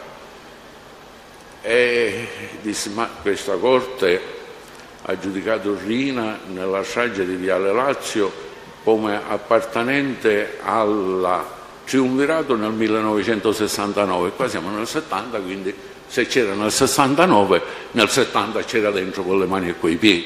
Ma qui argomenti di questo genere che fosse partecipe o vicino o a qualunque titolo al triumvirato elementi non ne abbiamo, non ne troviamo. Cianferoni vi ha ricordato un passo della sentenza per cui la mia preoccupazione di una reiterazione di condanna sotto il profilo dell'appartenenza al triumvirato è cessata in me e non entro nell'argomento come non entro neppure nell'argomento della utilizzabilità delle dichiarazioni dei collaboratori di giustizia rese solamente in anni prossimi, contrariamente a quanto prescrive la legge istitutiva dei collaboratori. Una cosa ve la devo dire, sui collaboratori di giustizia che assegna un termine dall'arresto, dall'inizio o dalla dichiarazione di intenti a collaborare, assegna un termine stretto al collaboratore perché quantomeno annunci tutti i fatti criminosi a sua conoscenza o ai quali lui ha partecipato. La cosa che vi dovevo dire è questa. Io ho capito subito che Naimo non era attendibile. C'è un passo della prima dichiarazione resa al pubblico ministero in Groia. Il pubblico ministero gli dice dove ti disse Emanuele D'Agostino che prelevarono eh, Mauro De Mauro, c'è l'uditore. Groia dice, eh, siamo fuori strada. Sapete quale fu la risposta di Naimo? Il pubblico ministero lo sa, la Corte mi pare che ha acquisito il verbale. Ah, allora che fa? Sono escluso dal programma di protezione. Se noi interrogassimo domani o dopodomani Naimo, state pur certi che vi dirà io ho visto sparare a Gaetano Badal- a, a, a Salvatore Rina mentre sparava a Mauro De Mauro, perché deve ricevere il premio. È quello il suo traguardo, è quello il suo scopo. C'è molta trepidazione in seguito alla contestazione, ah ma allora siamo fuori strada. Ah dottore, allora che fa? Il programma di protezione, non ci posso entrare. Questo era il suo scopo, signori, non siamo né ingenui né bambini. Questo è l'intento dei collaboratori di giustizia. Ma che perlomeno perlomeno che dicano la verità, che dicono la verità, perché al di fuori di questi giudici poi ce n'è uno, uno più grosso e più importante che tutto vede e tutto sa. Purtroppo la legge degli uomini è fatta secondo il nostro libero convincimento. Si sono convinti che era un omicidio di Stato, che era un omicidio politico, però niente c'è che lo possa suffragare queste cose. Se c'è il processo vastissimo, se la Corte ritiene e mi chiede di approfondire qualche argomento sulla questione, sulle, sulle, dichiarazioni dei collaboratori di giustizia o di scendere nei particolari, me lo dica, perché io vorrei trasvolare, lo vorrei trasvolare per non annoiarvi, per non annoiarvi perché voi li avete vissuti ovviamente valuti lei e, e, voi, e voi le sapete la voi non può darle nessuna indicazione. Quindi, quindi, io vi ho parlato di qualche giornalista vi ho parlato per il resto affido vostra, mi affido alla vostra conoscenza delle dichiarazioni rese dai, dai giornalisti e dagli scrittori che evidentemente giornali e libri non possono far parte del materiale probatorio di un processo perché sono delle ipotesi, sono delle idee, sono dei convincimenti del giornalista. Vi posso dire solamente una cosa. Prego, Vi posso dire solamente una cosa. Io ne ho fatti diversi processi di omicidi di giornalista. L'ultimo in ordine di tempo è stato quello di Mauro De Mauro, di, Mauro, De Mauro chiesto, di Mario Francesco. Non c'è stato un testimone che non fosse una persona o collaboratore di giustizia, non c'è stato né un giornalista né uno scrittore, né nessuno è stato ammesso ad esprimere o a raccontarci il suo pensiero, il suo convincimento o l'idea che si fosse formato nel corso della sua attività professionale. E Mauro, e Mario Francese era un giornalista, era un giornalista molto serio, era una persona che lavorava seriamente. E come dovrebbe lavorare un serio giornalista che ha l'obbligo di informare al più possibile, al più possibile i suoi lettori. Con queste brevi considerazioni, signori della Corte, io eh, chiedo le conclusioni, mi pare che sono state già assunte da Cianferoni. Eh, vabbè, vabbè, lei si chiedo, associa ovviamente chiedo, a quelle chiedo, già chiedo la soluzione, la soluzione, la soluzione ampia del reato scritto per non aver commesso il fatto. Salvatore Rina per non aver commesso il fatto. Grazie avvocato. Grazie